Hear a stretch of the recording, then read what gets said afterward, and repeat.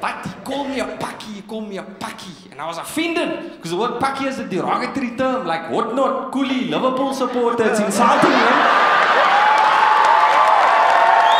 But then I thought, why am I offended by the word paki? It's just a shortened version of Pakistani. I mean, English people won't be offended if you go, hey, you Ingle. They're like, what's an Ingle? These Pakis are crazy. Won't be offended, are you Emma. Nigerians won't be offended, hey, you. Wait, I didn't think that right through. But I'm like, who are you to call me a Paki? I'm not a Paki, I'm a Coolie. That's the derogatory term that was used for Indians in South Africa. If you're gonna insult me, insult me correctly. They don't really call Indians coolies anymore, though, eh?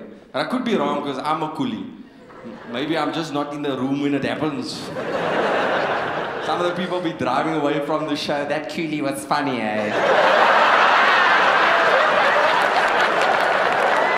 These coolies make me laugh. They used to use that word all the time, the term. These bloody coolies. They have so many wives. This is completely unacceptable by Western standards. As I was saying to my mistress.